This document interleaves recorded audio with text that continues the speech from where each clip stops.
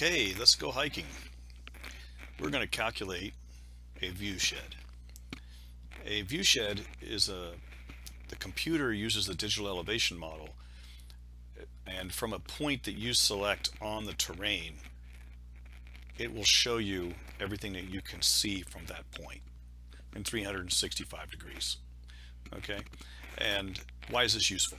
Well, uh, if someone was buying a house, they might like to know what view they're going to get from that house. If um, someone was interested in uh, being able to see a certain point, for instance, um, Thomas Jefferson famously built Monticello on a hill that allowed him to overlook the construction of University of Virginia. He built that. But the more modern application of this of this uh, viewshed tool, it was uh, cell phone cell phone connections, and cell phone towers need to be what's called line of sight, or um, not cell phones so much as um, uh, radio um, radio transmitters, uh, microwave transmitters. they have to be line of sight. So the view shed was used to figure out where they had to put other line of sight receiving antennas, and then they would kind of leapfrog this throughout the landscape by calculating view sheds from every location where they had a tower. Anyway, it's a very useful tool and although it wasn't intended for real estate, real estate agents use it a lot. Okay, so here we are. We're going to start out at the lower Stony Man parking lot and we're going to make our way up to the top of the mountain here. And you start down here at this parking lot and you're working your way up to this rock overlook. These are actually old lava flows, basaltic lava flows. I won't tell you that story now. Um, and you're looking west, okay? And what would you see if you were looking west? You'd see this. Here's those old lava flows you're standing on, and the valley, Shenandoah Valley, JMU is out there somewhere, and West Virginia, okay?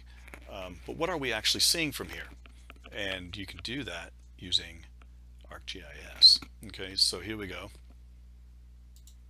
You come back to the map and let's find Stony Man. Um, you could search for it like I did up here.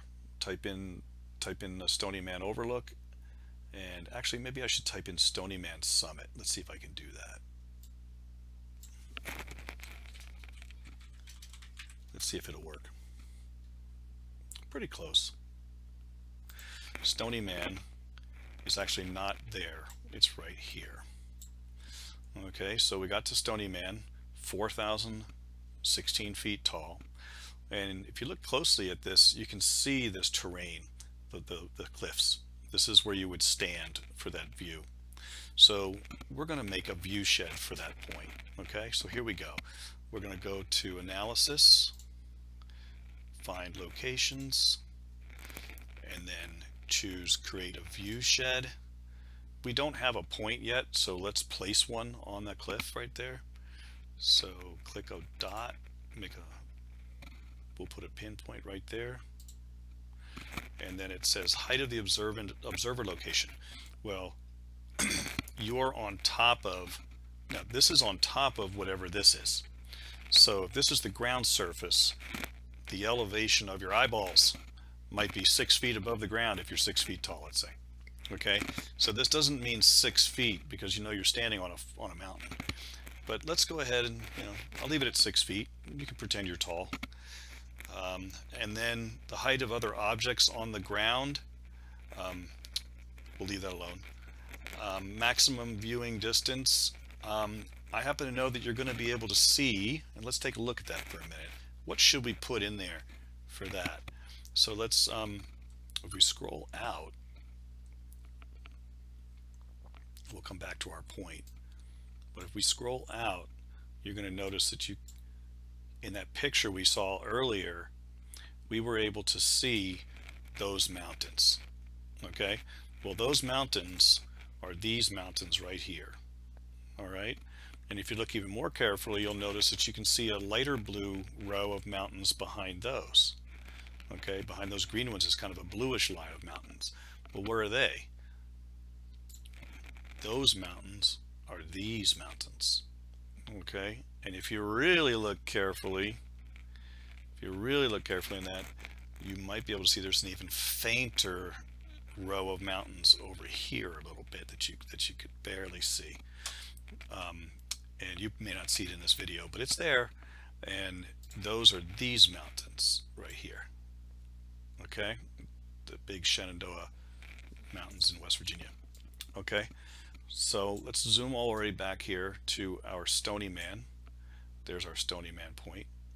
and we've already we can stay at this view because we know we're going to see across the valley. So this is a good perspective just like this. All right so let's change this though. I measured this earlier. That's 12 miles. And we can see all the way to the to the next ridge.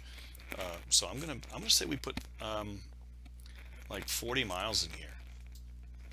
Let's put 40 and then let's try to oops this, the maximum distance is 31 so we're going to go with 31 and now that's interesting we can do more than that in ArcGIS uh, Pro.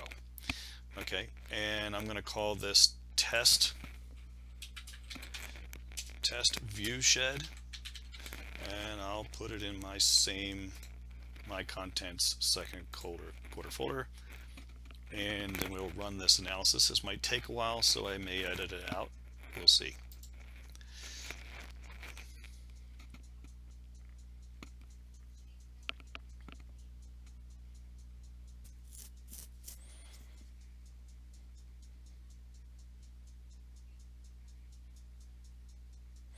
Okay, well that took a while and what's interesting is it's actually not as good a result as we get in Pro and I know why.